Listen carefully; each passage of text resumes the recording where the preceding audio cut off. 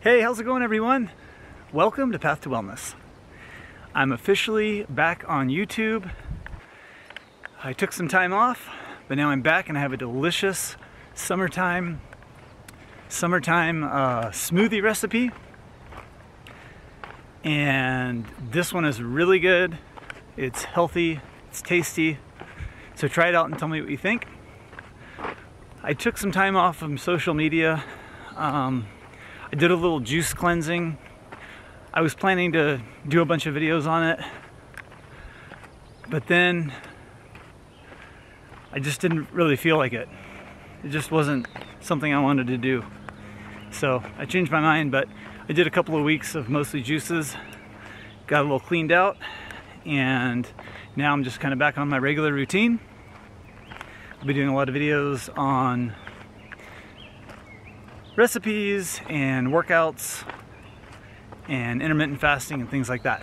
So anyways, I'm back. This is the summertime smoothie recipe.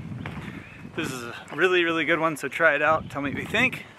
And here it is. So this is the summertime smoothie recipe. And what I'm going to put in this smoothie is three frozen bananas. I have a cup or a little bit less than a cup of frozen mangoes.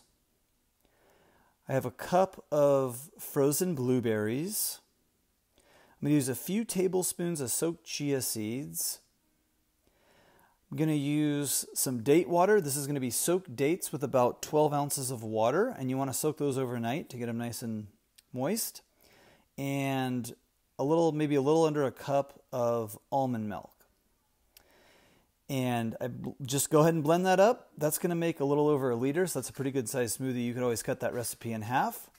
But there it is. It's really delicious. Try it out. Tell me what you think. Thanks for watching. Give a thumbs up if you liked the video, and we'll see you soon. Bye bye, everyone.